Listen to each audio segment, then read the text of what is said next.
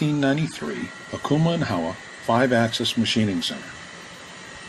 This 20-year-old machine is still running well and making perfect parts every day. Travels are 57 inch in the X, 39 inches in the Y and Z, with a 31.5 inch rotary table. It has a 60 station tool changer and a powerful Fanuc 15M control. The 20 horsepower spindle is 50 taper with 3,150 RPM. It has 150 degree contouring axis.